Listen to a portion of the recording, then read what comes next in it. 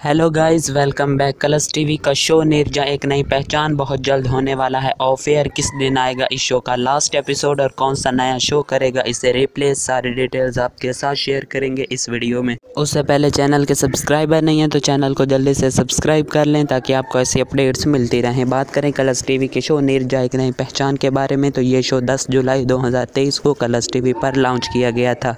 इस शो में main Leeds के तौर पर आस्था शर्मा और राजवीर सिंह देखने को मिले। आपको बता दें, ये शो शुरू में अच्छी टीआरपी लेकर आया, लेकिन अब कलर्स टीवी इस शो से एक्सपेक्ट कर रहा है कि ये शो 1.5 के अबव टीआरपी लाए, लेकिन ये शो 1.3 और 1.4 की टीआरपी ला रहा है।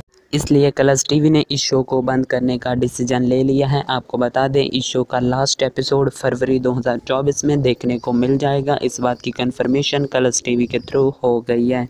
क्योंकि कलर्स टीवी जो भी नया शो चाहता है, वो कम से कम इतना एक एक्सपेक्ट कर रहा है कि वो शो 1.5 के अबव टीआरपी लाए। बाकी सारे शोज़ 1.5 की टीआरपी ला रहे हैं। लेकिन निर्जा एक नई पहचान 1.5 से नीचे चल रहा है। इसी वजह से इस शो को ऑफ़ एयर करने का डिसीज़न मेकर्स ले चुके हैं। और निर्जा एक नई पहचान का जो ऑफ़ एयर होना है, वो तो कन्फर्म हो गया है और इस शो का जो लास्ट एपिसोड है, वो फरवरी के लास्ट में हमें देखने को मिल जाएगा।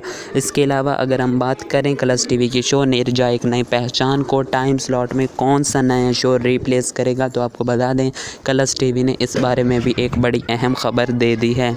कलर्स टीवी का नया शो, मंगल लक्ष्मी, जो कलर्स कनाडा के शो भाग्य लक्ष्मी का रीमेक होने वाला है, वो निर्जा एक नई पहचान को टाइम स्लॉट में रिप्लेस करता हुआ दिखाई देगा। आपको बता दें, इस शो में मेन लीड्स के तौर पर दीपिका सिंह और नमन शाह कन्फर्म हो गए हैं। पहले पहले इन दोनों स्टार्स को सिर्फ़ अप्रोच किया गया था, लेकिन अब ये दोनों स्टार्स इस नए शो के लिए कन्फर्म हो गए हैं। आपको बता दें, ये नया शो फरवरी 2024 में कलर्स टीवी पर देखने को मिल जाएगा, और इसका जो टाइम स्लॉट होगा वो साढ़े आठ बजे का होगा। आप कलर्स टीवी के शो निर्जा एक नई पहचान को कितना ज़्यादा मिस करेंगे, और आप इस नए शो के लिए कितने ज़्यादा एक्साइटेड हैं, कमेंट करके ज़रूर बताएँ, और ऐसी और अपडेट्स के लिए चैनल को सब्सक्राइब करके बेल आइकन को दबा लें।